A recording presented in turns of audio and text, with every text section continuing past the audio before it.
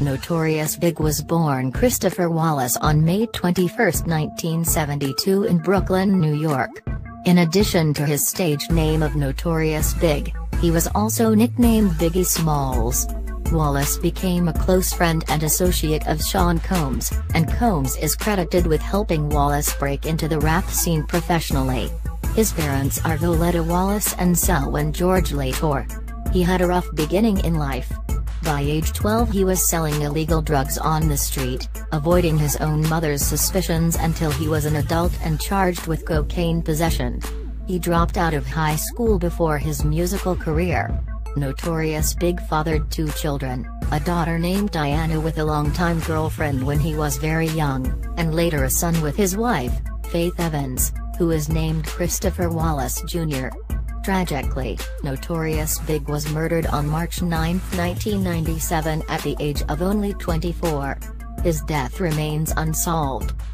On March 9, 1997, Christopher Wallace was killed by an unknown assailant in a drive-by shooting in Los Angeles. Sixteen days after, his Life After Death double disc set was released and became number one on the US album charts. In 2000, it was certified diamond and is one of the few hip-hop albums to receive such certification.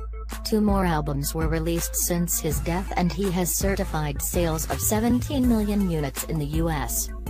At the time of his death, Wallace had built a notorious big net worth that stood at $160 million. That figure has held steady since his death, particularly as Wallace became a martyr of sorts for hip-hop and rap music.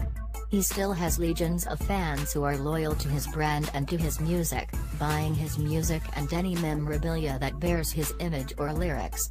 Even in death, he stands out as one of the most financially successful rappers and performers of all time.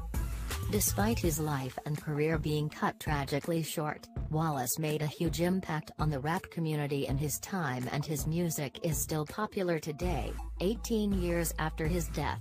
He first contributed to several Mary J. Blige tracks, Real Lovin' What's the 411? He then went on to release his first single, Party and Bullshit and in 1994 released his first album, Ready to Die.